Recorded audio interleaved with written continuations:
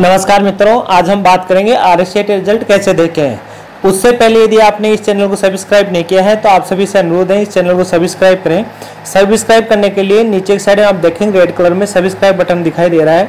उस पर जैसे क्लिक करेंगे, वह ग्रे कलर में बदल जाएगा उसके पास में बेल का ऑप्शन दिखाई देगा। जैसे बेल पर आप क्लिक करोगे तो इसमें सबसे फ़र्स्ट ऑप्शन आता ऑल उस पर क्लिक करोगे, उसके बाद में जो भी हमारी वीडियोज़ है, वो आपके पास ऑटोमेटिक पहुँच जाएगी, जिससे आपको आसानी रहे। इसके बाद हम बात करते हैं आर रिज़ल्ट।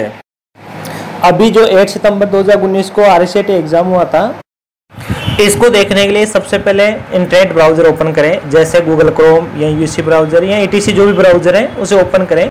और ब्राउज़र में जहाँ ऊपर एड्रेस बार है, उसमें लिखें R K C L dot V M O U dot A C dot in इसको जैसे टाइप करके अपना एंटर करेंगे तो एक साइट खुलेगी।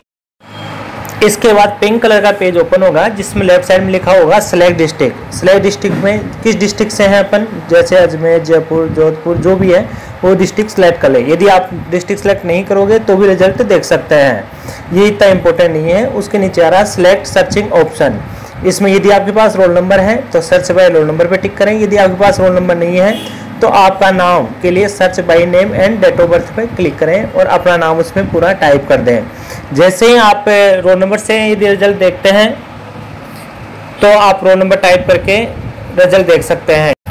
यदि आप रोल नंबर से रिज़ल्ट देखना चाहते हैं तो सर्च बाई रोल नंबर पे टिक करें। जैसे टिक करेंगे तो नीचे दिखाएगा आपको एंटर रोल नंबर आप अपने जो रोल नंबर है, वो टाइप कर दें उसमें और व्यू रिज़ल्ट पे जाके क्लिक करें।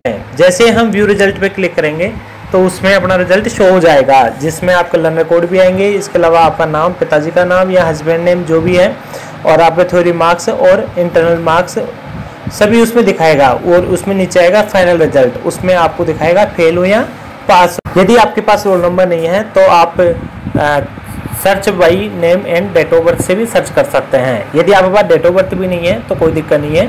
आप एंट्री स्टूडेंट नेम पे जाएँ और अपना नाम पूरा लिख दें। लिखने के बाद व्यू बटन ऑप्शन आ रहा है, उस पर क्लिक करें। जैसे आप उस पर क्लिक करेंगे तो आपके नाम से संबंधित लिस्ट मिलेगी आपको, जिसमें आपके नाम, पिताजी के नाम, वो दिखाई देंगे।